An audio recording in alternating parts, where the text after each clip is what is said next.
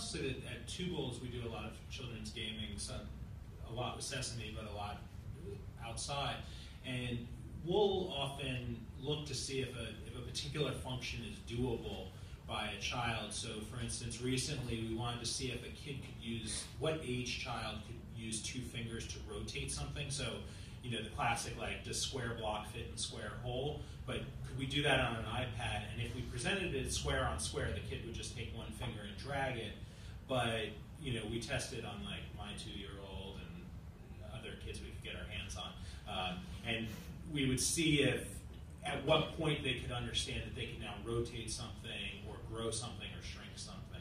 And we will do that while it's still in a very blocked stage.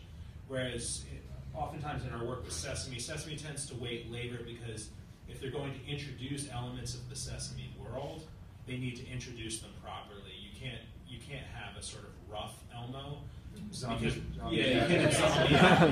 um, first of all, it'll freak the kids out, but also the, the child can become distracted by something that is incomplete. So in our case, if we're doing something, saying if a kid can rotate a block, well, if we just present blocks, then the kid just understands block, block. But if it were like Elmo in block form, they would become confused by what they're seeing because they have contextual knowledge that predates the, the experiment or the learning opportunity.